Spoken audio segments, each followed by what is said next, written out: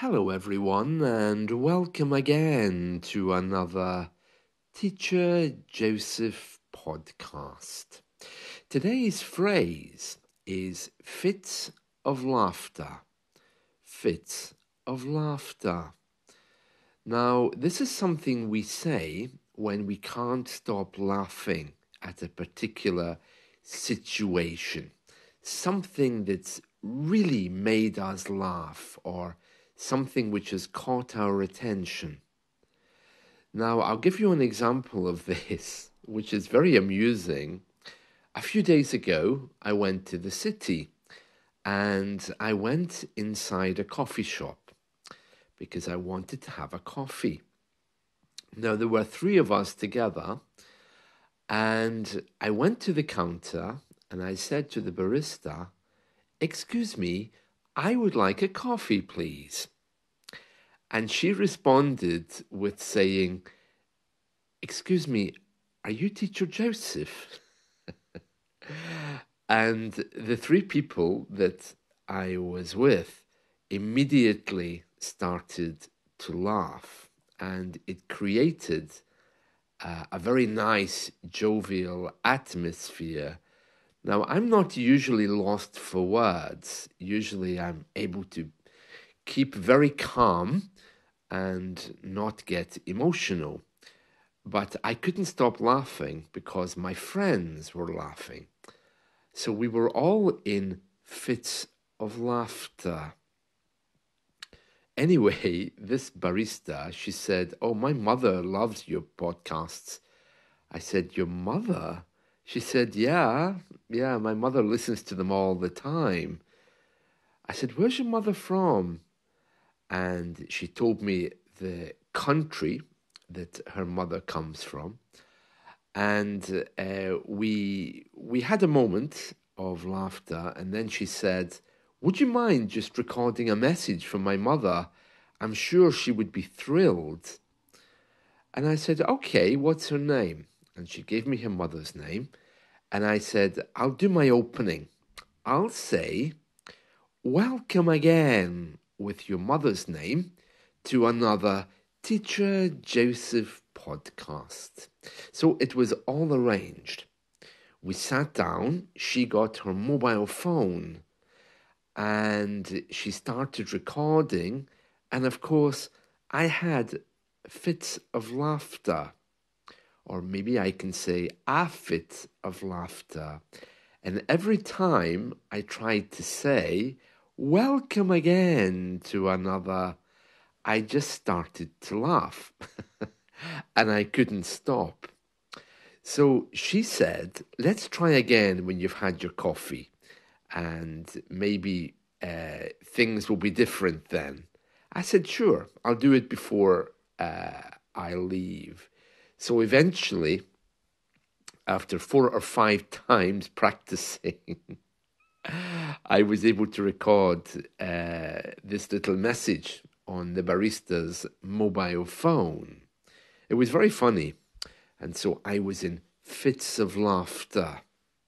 You can also say fits of the giggles. I had fits of the giggles or a fit of the giggles. Some people say without the article, I had fits of giggles. Giggles and laughter mean the same thing.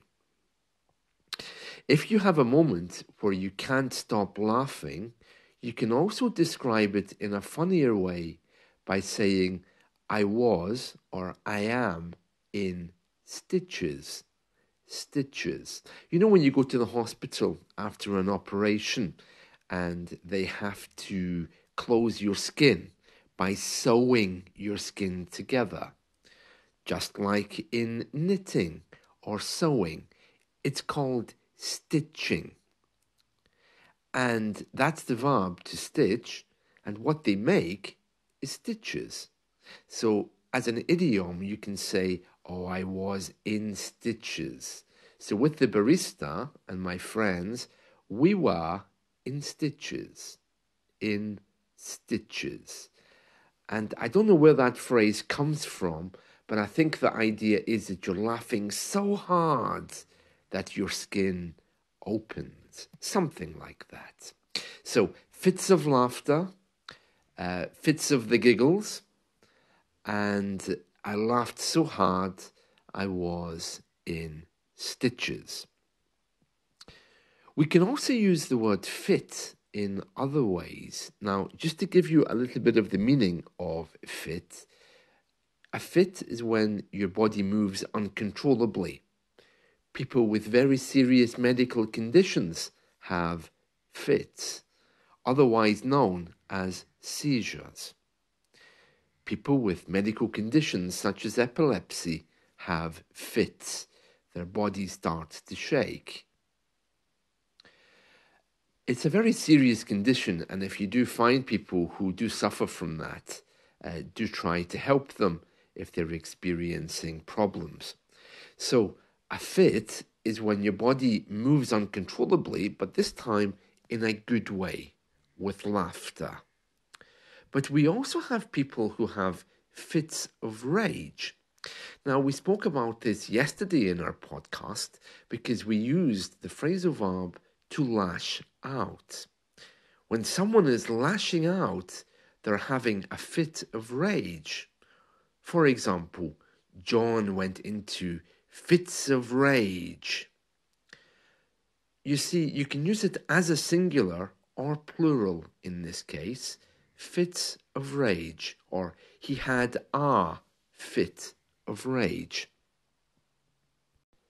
There are other ways to use the word fit in a positive way, but because our body might not be moving so much, it's difficult to use fit because a fit would imply that the person is having a seizure of laughter or with a medical condition.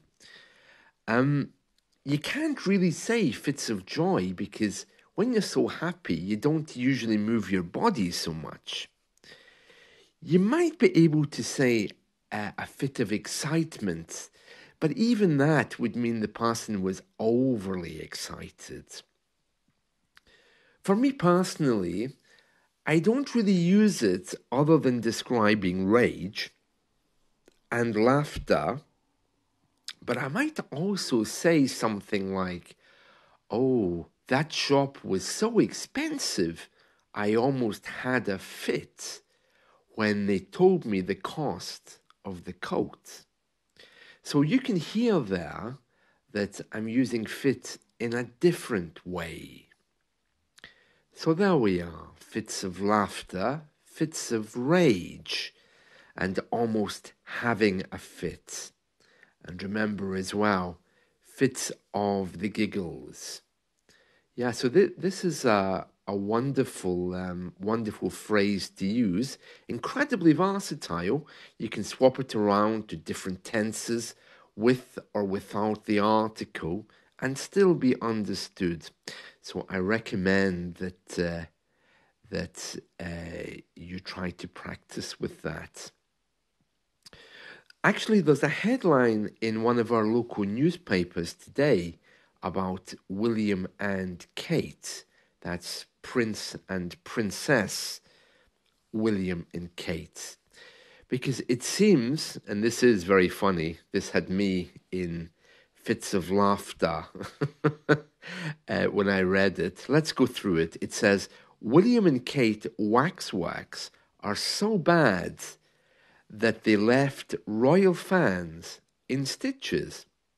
And as we mentioned a moment ago, to be in stitches means to laugh so much. So the headline actually says that. It says that um, the royals uh, were in stitches. Well, actually, it's the royal fans who were in stitches or left in stitches. So it says social media users have been left in fits of giggles after seeing some bizarre looking waxwork dummies of Prince William and Kate Middleton in a Polish museum. So a waxwork dummy is those life size um, models which look like people. You know, like Madame Tussauds in London is full of them. Uh, most places in the world have a waxworks museum. Candles are made of wax, and models also, and they dress them up. It says here Krakow's museum's royal family waxworks exhibit left fans unconvinced after many noticed that the statues of the Prince and Princess of Wales looked nothing like the royals. And then it describes them.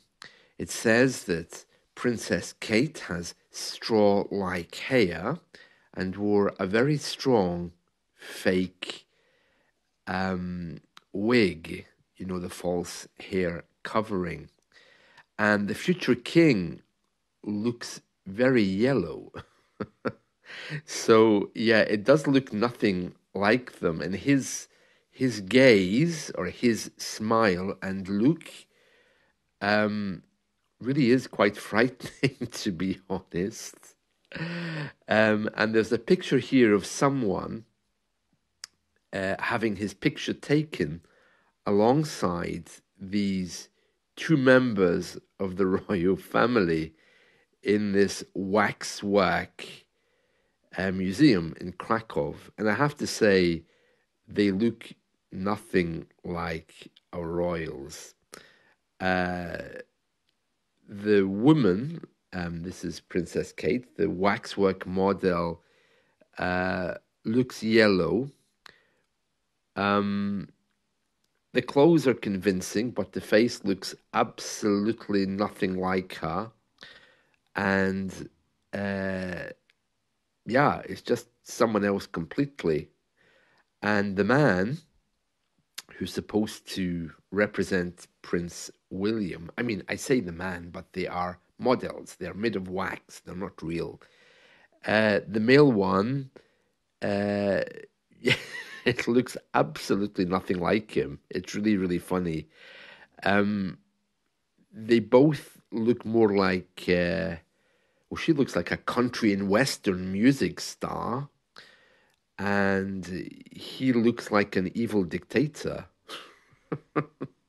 if you get the chance, do have a look at them.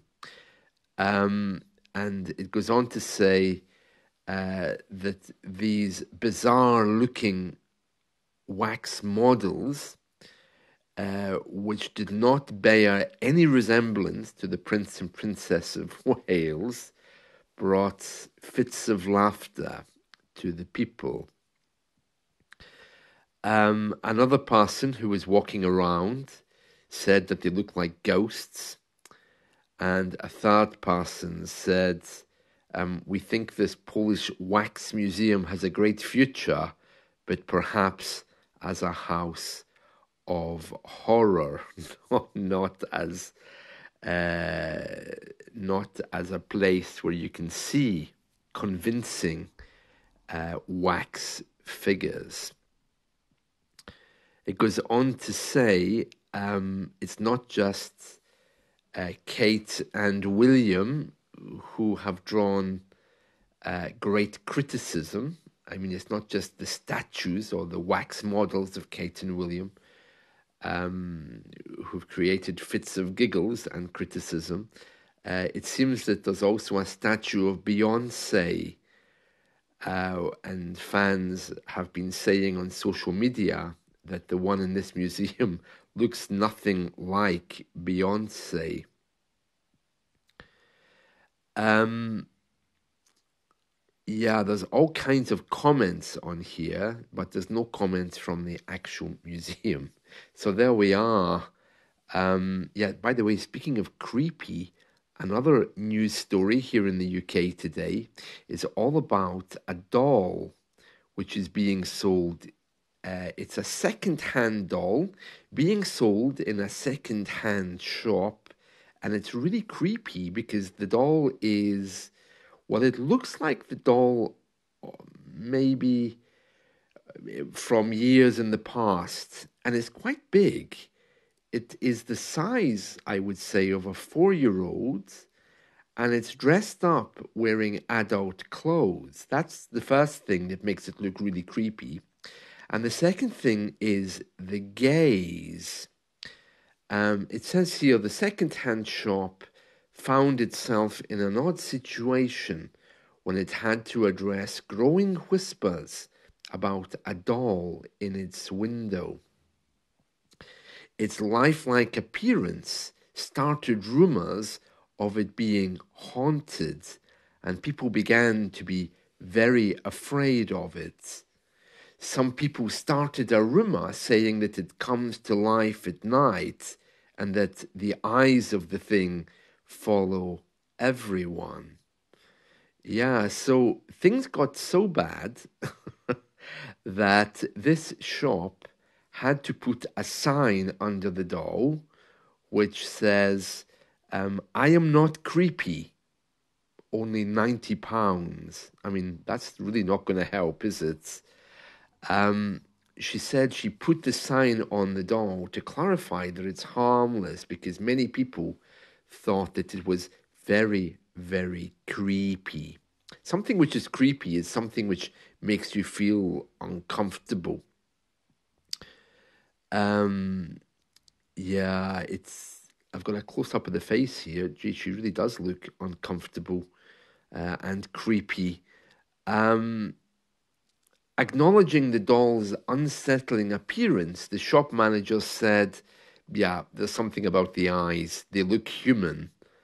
Um, I think they were trying to make it look like a real child. No one seems to want to buy it. well, I almost had a fit when I read that it was ninety pounds, but um, yeah, I, I don't think it's the actual doll. I think it's the size of it. It looks huge. I've never seen a doll which uh, is so big. You know, it looks like the whole size of a four or five year old's dressed in adult clothes. That's what makes it look creepy. Yeah. Anyway, there we are. So, fits of laughter, fits of the giggles. I hope you've enjoyed this. Let's talk again soon. See you. Bye.